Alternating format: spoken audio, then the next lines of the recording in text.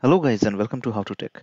In today's video we'll be doing a short tutorial on Pika Labs. In recent days Pika Labs has gained a lot of popularity especially when it comes to text to video generation or image to video generation. Pika Labs is actually giving a very tough competition to Runway ML as well and particularly because of the fact that it's mostly free.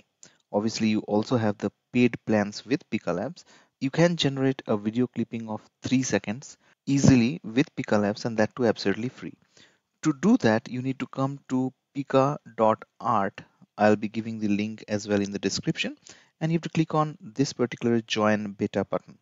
Once you click on the join beta button, you'll be redirected to the Discord server for Pika, which is this. This is going to be the icon for the Pika. If you're familiar with the Discord account, you will be having the announcement and the recent updates and the rules and chat, community and creations. So you need to come to one of the, you know, uh, creations community over here. Let's say I click on generate to and then all you have to do is slash create, right? And you can enter your prompt so let's say I'll be typing in the prompt and you can type in whatever prompt that you want. My prompt would be a sunset on Mars. And if you want to give any images, you have to click on the plus one more icon and you can even give an image from your desktop. So one of the most common problems with Pika Labs Discord thing that I just showed you is that your creation will be lost amongst the sea of various creators that is trying to create their own creations as well. So what is the solution to this is you need to create your own server or you need to have separate Pika bot to go ahead and give your prompts. So for that, if you need personalized messages, all you need to do is right click on the Pika bot server at the top right. And remember, for some of you, it might be hidden. So you need to give a toggle at the top right which shows show member list right? This particular icon. So you need to go ahead and click this show member list to have a visibility of all the members that are present over here. And from that you need to choose in pika and right click on pika. Just go to message. So once you type in message you'll be having a separate direct messages icon at the top left of your discord server.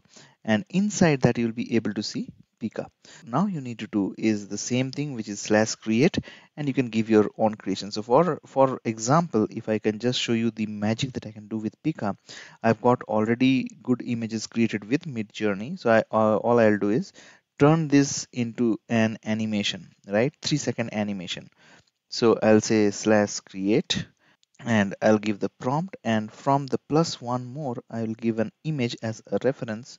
So it will ask me for a reference. I will say the reference would be this image of a boy along with the car.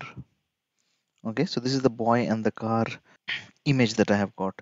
So from for the prompt I'll say cute little Pixar animated boy repairing his car.